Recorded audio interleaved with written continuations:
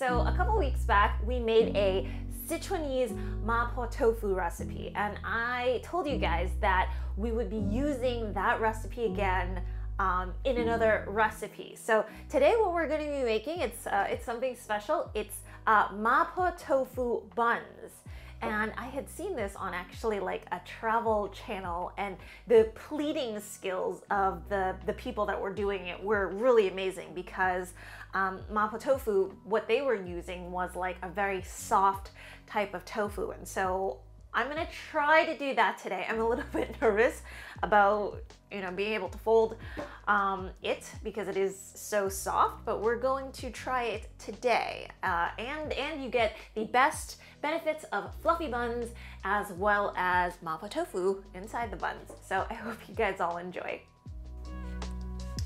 Okay, so today we're gonna do the plain buns recipe from the Vegan Dim Sum Cookbook. And the reason is because because we're filling it with um, mapo tofu, which is something that is super, super soft, you want to kind of find buns that are a bit heartier, a little bit drier, because otherwise the form is uh, most definitely going to deflate. So uh, here we're gonna have two cups of unbleached flour. This is just some yeast, some sugar, a little bit of salt. So three quarters of a teaspoon of baking powder.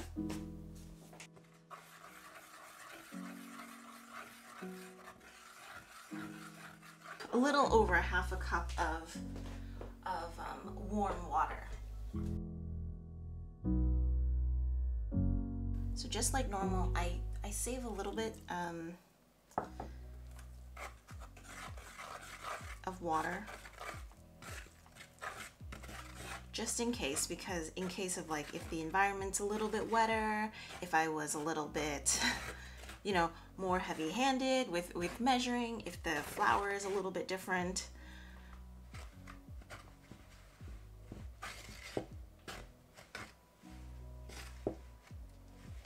So generally you want to get to kind of this um, flaky stage before you determine like, okay, like, am I going to need kind of more water? And this is a medium type dough. It's not too soft. It's not too dry either.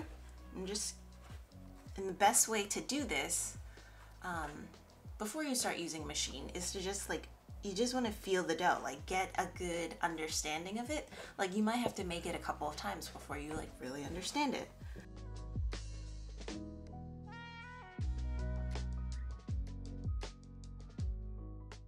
And you just want to knead it for six to seven minutes until you get a semi-smooth ball of dough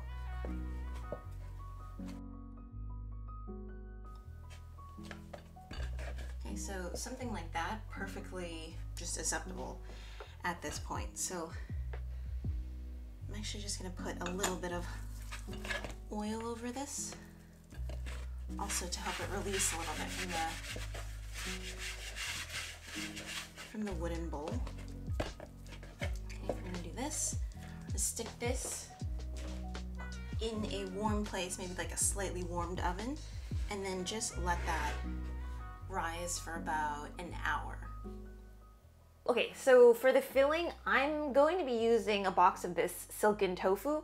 Um, I think silken or soft is going to work. Um, that was the kind that they were using. If you're not too comfortable with filling things that are too soft and squidgy yet, um, feel free to substitute it for like a firmer type tofu. But I think what I'm gonna do with the mapo tofu filling here is to just make sure that I get rid of a little bit more liquid, or you can put in a little bit more cornstarch in the slurry at the end so it really uh, holds together.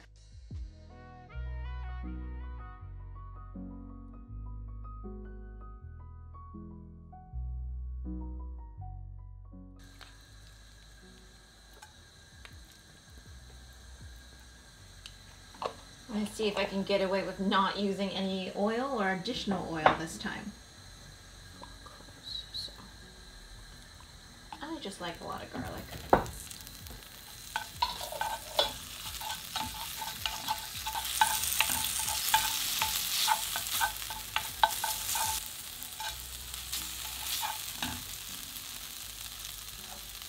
Fermented beans, fermented black beans.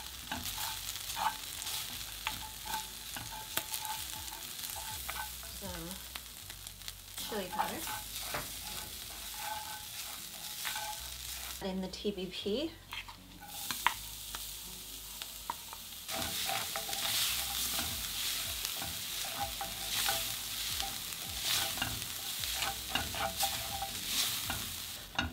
one to one and a half cups of water. I'm gonna try to not add too much water. Um, I'm a little bit nervous about having this sauce be overly runny. So, two teaspoons of Sichuan peppercorn. And see how nice that meat sauce is looking right now.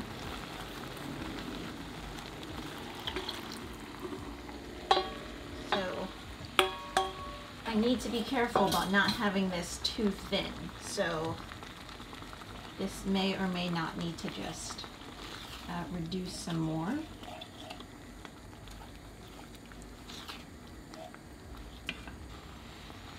Is put this in.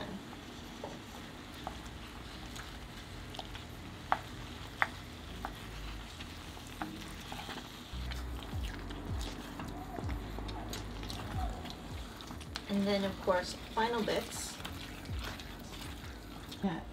The scallions in. So you definitely want to let this cool down before you use it as a filling. Okay, so it needs to be pretty much completely cooled.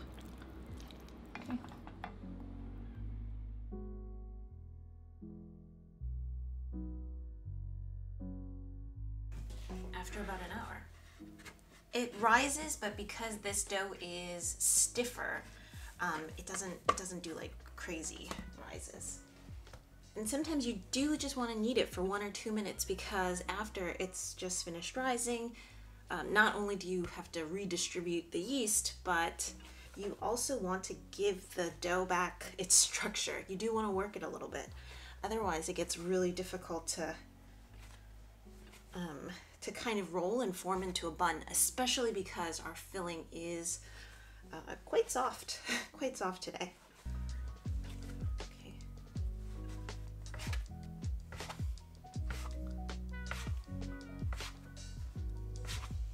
So turn it into a circle again, press it down, then you already have your disc shape.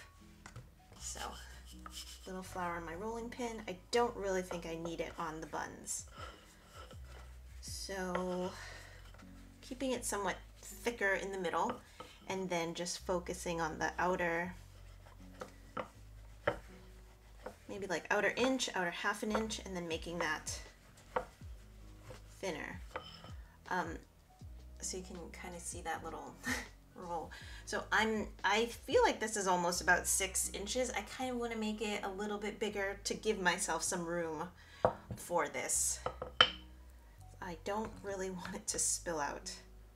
So that seems that seems brave. That seems like it's fairly big.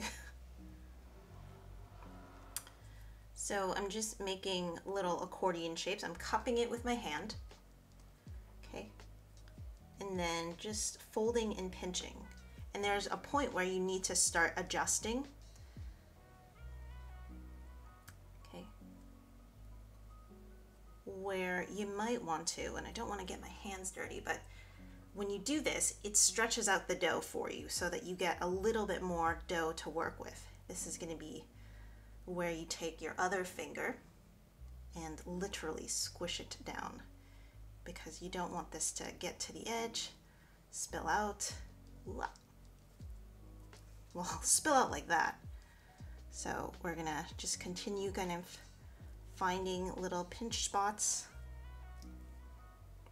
And you can either pinch this part off or you can squish it back down. So we have something like that. And when I saw it in the travel videos, actually the ladies, because it was so wet, it was actually, a lot of the filling was spilling out. So it, there was like red oil everywhere and it was, uh, it was messy, but it was really pretty at the same time. So you can either oil your like mat, your um your steamer mat, or you can get one of these these guys.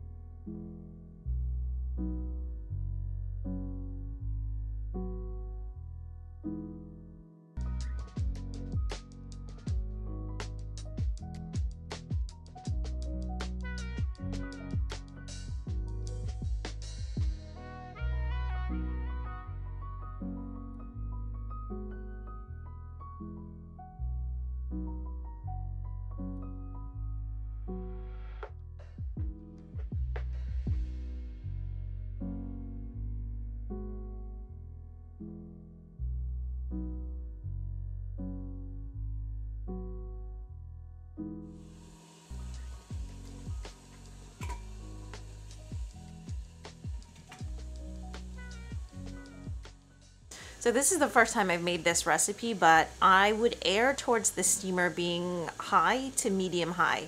You just want a lot of steam in it, so you want a lot of water in that steamer. And that's just ensure that there's enough heat so that the buns rise, but then also enough heat for it to set. Okay, so it's been about 10 minutes or so. Oh. So this actually held up quite well considering I was worried about the the filling kind of flattening everything, but these are okay. And like this here, I've seen this in videos as well where like some of the filling kind of like leaks through or um, like some of the Sichuanese oil or something leaks through and I don't know, I, th I think it's kind of kind of pretty.